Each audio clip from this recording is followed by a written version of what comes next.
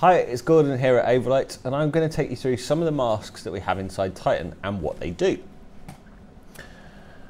Masks in Titan are a very valuable tool and it, they can make sure that we get just the information we want just where we want it.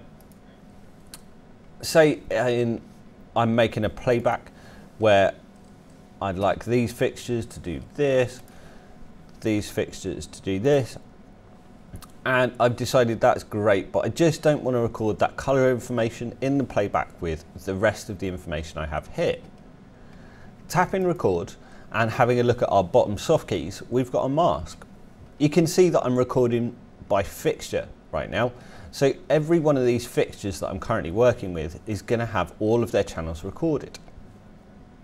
If I go to this mask, you can see every attribute that we have is currently set to include. If I tap color, then it's going to change from include to exclude. Tapping exit will get me back in this menu one step.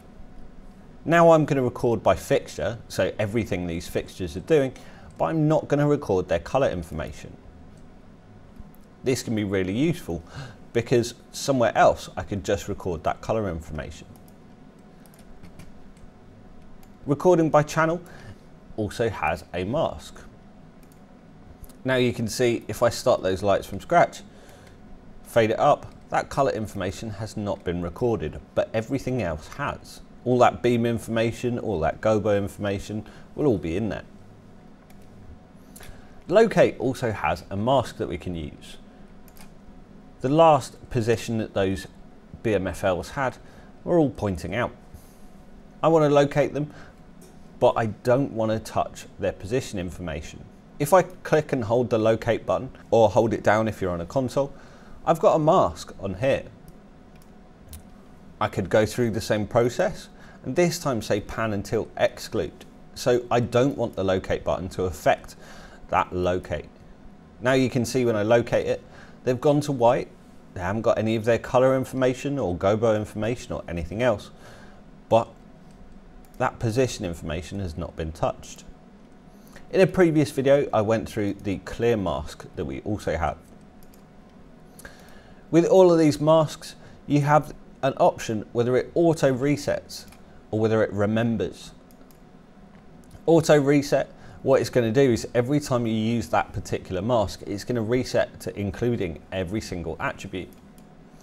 If I say remember mask and I go through to take off pan and tilt information, then every time I use that mask, it's not going to locate the pan and tilt information. You can see there holding down the locate button, it still hasn't got pan and tilt information. But if I set it to auto reset, then the next time I use the locate button, it is going to reset that information. Keep an eye on your soft keys as you're programming because there are more and more masks and they're all there just so you can get what information you want just where you want it.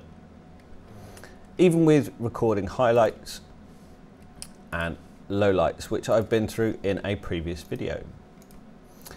Thanks for watching and tune in to the next one.